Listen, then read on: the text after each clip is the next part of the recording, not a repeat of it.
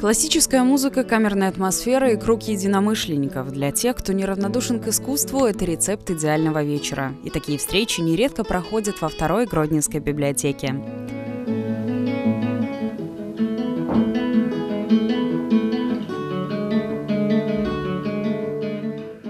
Нашу библиотеку охотно посещают и взрослые, и дети. У нас тут все как-то по-домашнему. А чтобы читатель себя чувствовал уютно и комфортно, мы не только находим ему необходимую информацию, но и стараемся как-то разнообразить его досуг. Поэтому каждый месяц для читателей своих устраиваем встречи с известными интересными людьми города. В разное время у нас побывали писатели, художники, поэты, историки. Читателям, конечно, нравятся такие встречи. Что они им дают? Здесь они имеют возможность принять участие в мастер-классах, услышать живое слово автора, найти себе друзей, единомышленников, ну и вообще с пользой дела провести свое время. В этот раз уютный библиотечный зал был наполнен звучанием гитары. Гродницы слушали и оценивали выступления юных выпускниц музыкального колледжа. Для Ангелины и Анастасии это стало своеобразной репетицией. Такую же музыкальную программу девушкам вскоре предстоит сыграть на экзамене. Выступать э, на публике это очень интересно, потому что нужно прочувствовать вот это вот волнение, и это очень приятное ощущение на самом деле, это приятное волнение.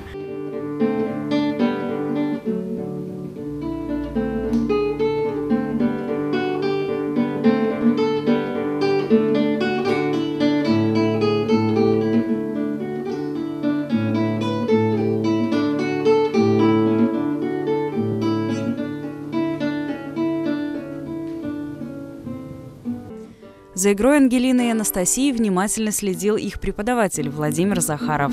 В этом году его педагогический стаж перешагнет 40-летний рубеж. Колоссальный опыт преподавания и десятки лет игры на гитаре помогли Владимиру Захарову создать идеальный музыкальный дуэт. Гости библиотеки смогли в этом убедиться.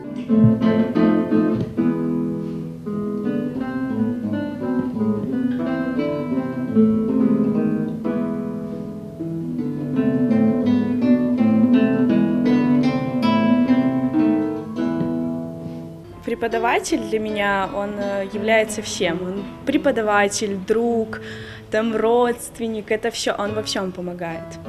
И как-то наталкивает заниматься и помогает развиваться. Научить играть и любить музыку – это очень важно.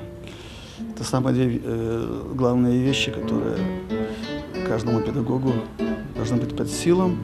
И, ну, еще, конечно, любить искусство в целом. Литературу, поэзию, живопись, оно все как-то так э, ветви одного дерева. Девушки играют вместе уже два года. За это время они стали настоящими подругами. Понимание с полуслова и общие музыкальные вкусы. Вот секрет успеха их совместной работы. Аргентинская мелодия наша любимая. Почему? Любим разыгрываться на ней, она очень э, заводит. Без поэзии библиотеку представить сложно. Музыкальный вечер украсили стихи Александра Слащева и Владимира Захарова. Ищет уголок покоя бабочка душа. Над огнем она летала, крылья обожгла. Прячется теперь от света. Так и человек, страсти гибельной отдавшись, доживает век. Что бы ты о ней, мой друг, не думал, нежность, робость – это пелена. Постоянно помни, что тайфунам – женские даются имена. Спасибо.